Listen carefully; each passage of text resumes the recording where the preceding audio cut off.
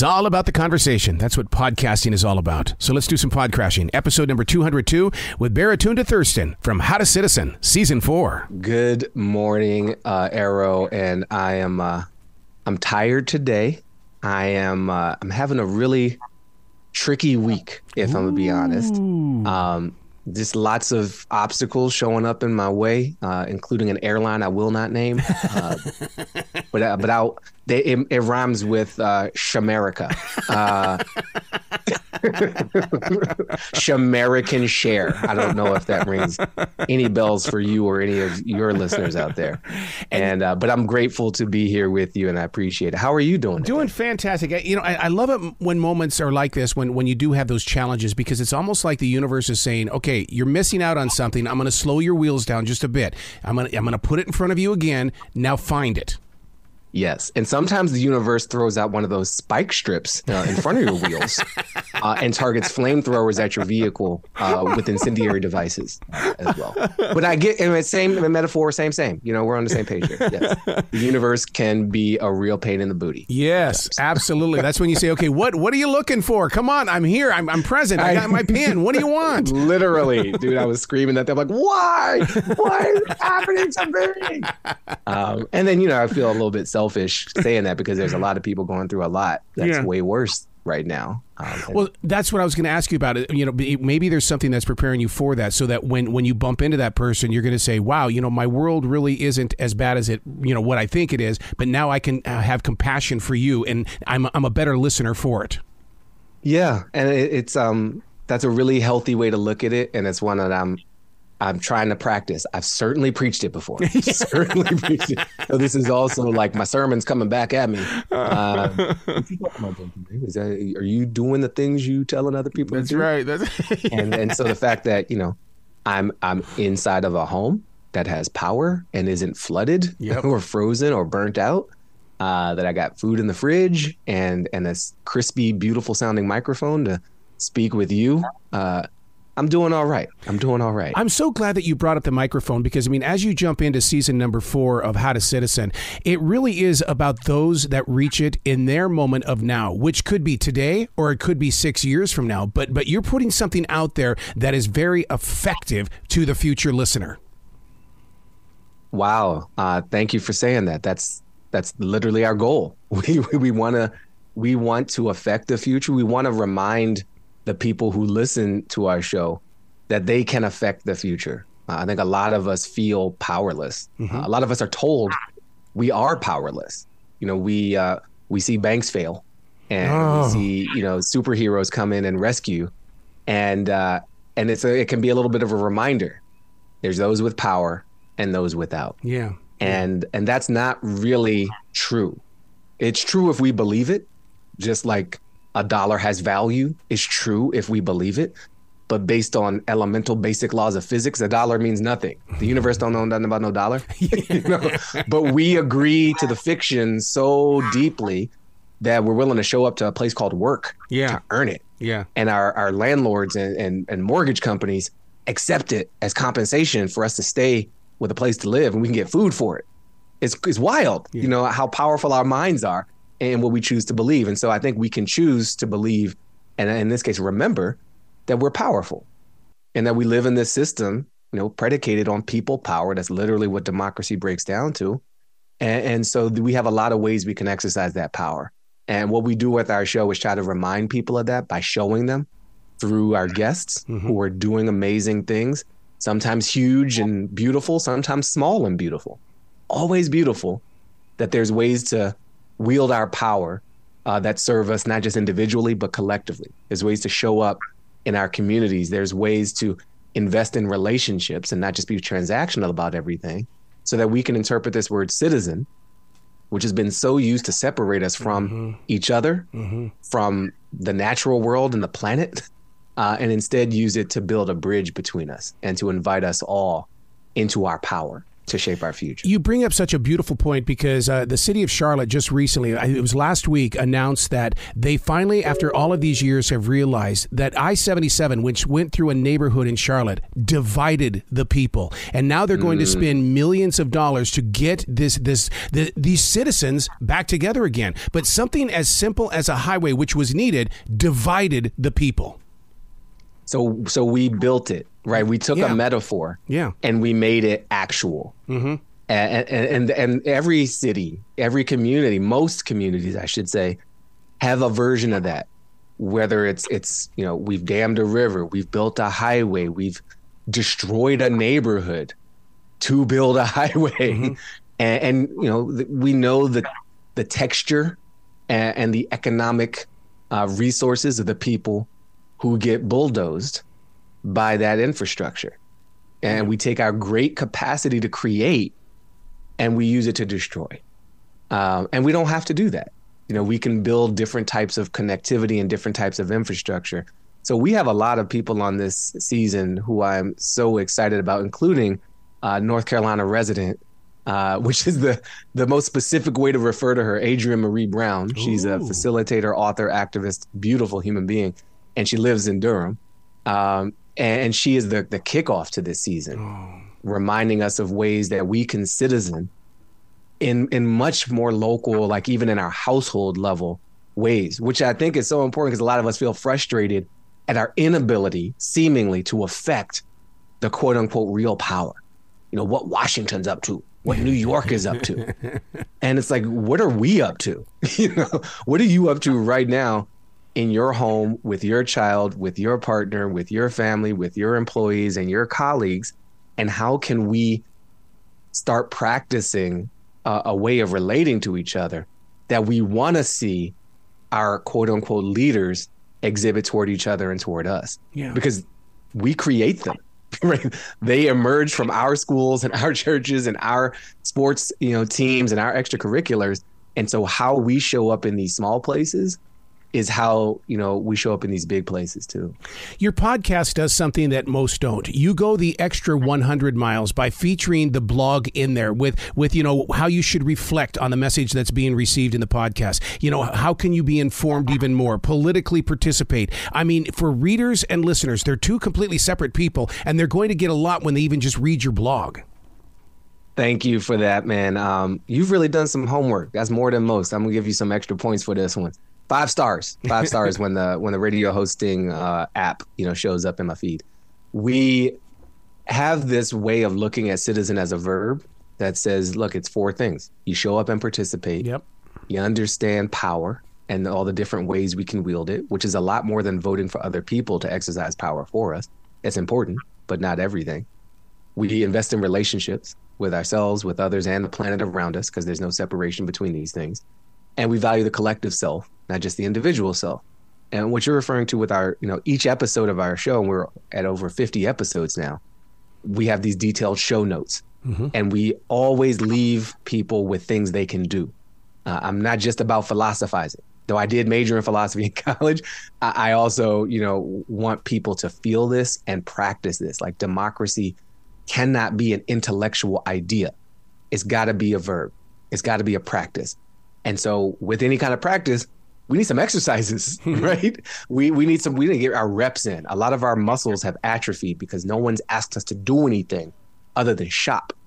And, and so we offer three ways in. We say, look, you can reflect just to yourself. It's like a single player mode on a game. You know, you don't need any friends around you. You don't need to coordinate no conference calls, knock on a stranger's doors. This is just you, yourself, and you thinking, giving time to consider. So that's the personal reflection. Then we said, look, there's we all got some gaps in knowledge. You know, being woke, I think is preferable to being asleep. I'm still not going to sign up for a pejorative interpretation of that word. Oh, you want so you want people asleep at the wheel? Okay, but I also think there's um, risk in, in declaring oneself woke because no one is fully awake. We all have some level of dozing going on, and so we all have something to learn. And so let's go be open about that uh, be generous with ourselves and humble and let's get more informed. So we give people some research, some article you can read, some other podcasts you can listen to, and then publicly participate. This is you know, do something with others. Uh, and, and it, again, it doesn't have to be a voter registration drive, though I encourage that, especially yeah. in the great yeah. state of North Kakalaki.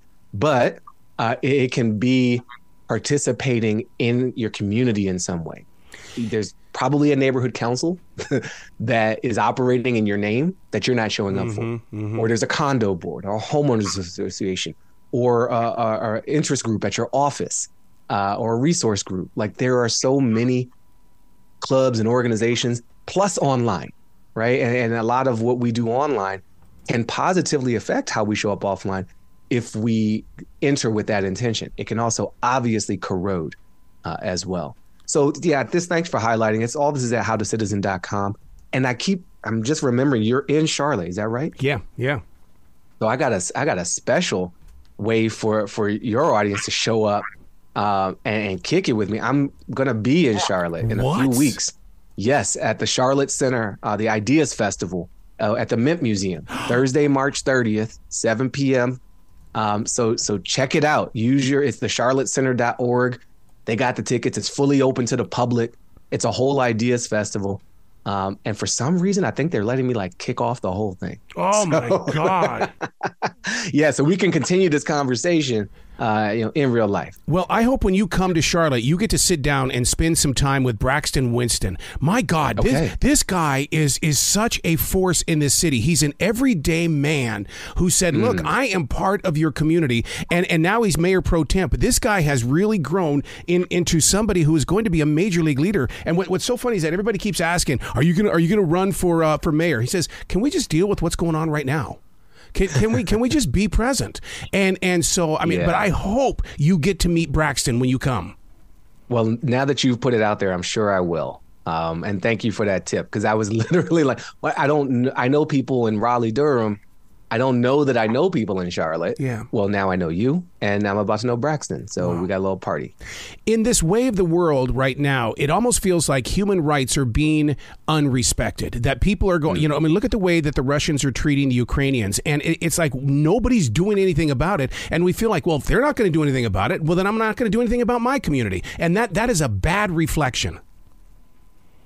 It is. Um, you know, I, I, I cited Adrienne Maree Brown earlier, uh, she reminds us of like the lessons we can learn from fiction, um, and also from from actual science. You know, science fiction and science fact. And mm. one of the science facts that's true is uh, there are these patterns. You've probably seen them in beautiful repeating pattern art, uh, reflective of the concept of a fractal. Basically, a pattern repeats at a really small level, is also represented at a really large level. And we can see this. You know, you look at the structure of our lungs and you look at a forest, and they're kind of the same thing. Mm-hmm. And, and, broccoli looks the same too. so it's like okay, at the scale of the the molecular structure of our lungs, at the scale of broccoli, which we can hold in our hand, at the scale of a forest, which holds all of us uh, in a living state by processing this air for us to breathe, it's all the same. And so what we see over there, what we experience out there, to some degree, we also experience in here. Mm-hmm. And, we're there's no we're porous, right? That stuff can affect us and how we show up. The way a parent's behavior affects how a child believes they can show up, and vice versa. The way we show up can affect what we see happening in the world because we are in part creating that world. Uh, and so I want to ag- acknowledge that yes, the world feels like it's getting more coarse mm. uh, and and harsher and so that's an invitation for us to be more loving and and softer with each other to try to shift the direction and the momentum of that which we perceive into that which we want to perceive. And, and, so that's that's a level at which we can approach these things. There's also like are you voting though? You know and and we need to do all of it. You know we need to be asking how we're spending our money but also you know, is infinite growth the best model for measuring the success of an economy? When we apply infinite growth to cells in a body, we call that malignant cancer. Mm. And we do everything we can to shut that down because it will destroy the host. Mm-hmm. But when we think at the level of economies, we encourage it absolutely without limit. And we are realizing that the planet has limits, that we have limits. And so we've unleashed an infinite resource burning growth model on a finite planet. Mm-hmm. and we're experiencing the results of that contradiction. So we've got to redesign the whole incentive structure uh, around how we do money and how yeah, we value things yeah, and how absolutely. we value each other. So yeah, Russia's acting the fool. They are being monstrous. And in some ways, in different ways, certainly less harsh for most of us, we have some monstrosity and some monstrous capabilities in us. And so, how do we show up with love for the people of Ukraine? How do we show up with love for ourselves and the people who we find disagreeable in our own backyards? Mm-hmm when you sit down in the same space with someone like Jon Alexander and and he comes up with the question, what are you trying to do in the world that's so big that you need others? All of that that would suck the air right out of my lungs because I would I would have to have at least an hour of writing to come up with some sort of answer. Yeah. Yeah, Jon Alexander um, is is my brother from another mother. He's a uh, he's a white British man, former ad exec, and, and I'm a Black American man, uh, subject to many ads in my life. so we have like a assailant and victim here. but um, Jon has written this beautiful book called Citizens: uh, Why the Answer, to, the solution to everything lays with all of us, uh, approximating that subtitle. And he got sick and tired, literally, of selling ads and of telling this story that says all we can do is consume, mm-hmm. uh, which emerged from a story that said we were just subjects to a monarch, an authoritarian of some kind, and that we're moving into another story, a new story of, of us being citizens and collaborating much more, uh, and and finding our purpose and our community not just through buying stuff, uh, or or being forced to buy stuff in certain cases. So, you know, one of the ways that Jon and I, we, we met in person. A lot of my stuff has been through Zoom, but it was really powerful to be in the same room with him. Is he said what you just said? You know, one of the ways we can citizen is to ask ourselves, you know, what's something that I'm trying to do that's so big that I need someone else to help me do it. Mm-hmm. That when you ask a question that way, you know, because we're we're all propagandized to believe we're alone that we have to pull ourselves up by our bootstraps, that when we uh, don't make enough money, it's our fault. That when we get sick, it's our fault. That when we're doing badly in school, it's our fault. Not that, oh, we should have a study group. Oh, we should have a healthcare system which doesn't punish people for being temporarily unemployed right. or burden an employer with the healthcare of their workers.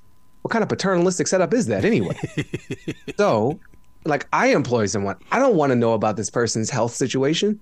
It's literally none of my business, but the government forces it to be my business because we're not collectively taking care of all of ourselves. And we could, we could choose something different. So that's getting big and drifty.